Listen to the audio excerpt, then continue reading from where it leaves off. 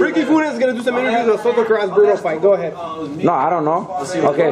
Hey, Tommy. So tell me, Tommy, from uh, Tommy Hearn? no, come on, man. What are you clowning? No. I, I need you to ask. No, no, go ahead, go ahead. Come on, no, at least. Tommy, tell, tell us what you saw tonight. So how'd you start that? You were just I saw my boy uh, Andre Berto uh, try his hardest, but um, at the end of it, he gave up and he didn't have no more left in that right shoulder. So I felt bad for him, but he tried really hard. And uh, who, who are you? Who are you going for? I was going for Berto because I met him. I met him through you, Ricky.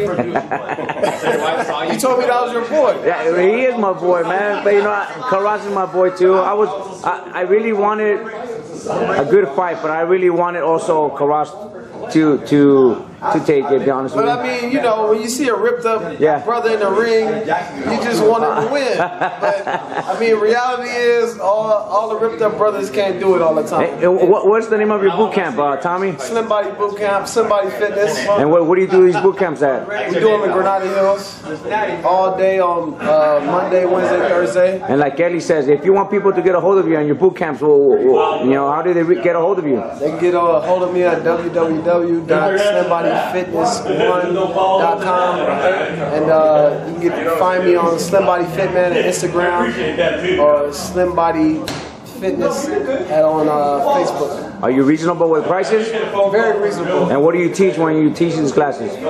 Calisthenic workouts, cardio, uh, yoga, we do it all. Show, show, show them your six pack so they, they know. It's Like not you. six pack, it's like eight and a half. There you go. I can show off.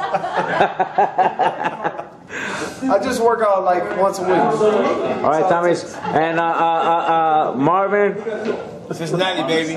Miriam, Paloma, then get uh, the two brothers. Andre still stay with Ricky. He the one tonight. Oh, come on. Sorry. So we're here from Ricky's house reporting. Eddie, you could edit that or whatever. Like a Rios' fight at Home Depot? Eric, the expert.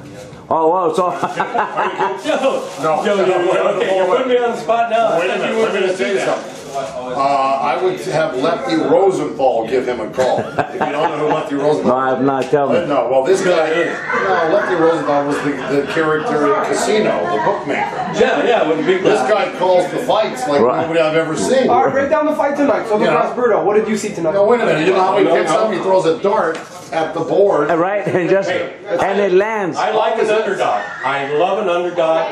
When I seen Virgo come off at plus You win, I'm 300, telling you, you win nine out of ten bets. I, uh, You know? I'm, Lefty, on, I'm on the plus side. that's your new nickname. Lefty Rosenthal. Lefty. Okay, Mayweather Canelo. Mayweather. And by the way, oh, take it to the bank, people. Right. No, no, I'm not. I'm not going to give up any free information. What round? uh, eight. I say Brandon Rios stops Pacquiao in seven. He looked real big. You see that? Man, he looked really out of shape, by the way. Yeah. Like no, not only that, he looked. Rios looked tall.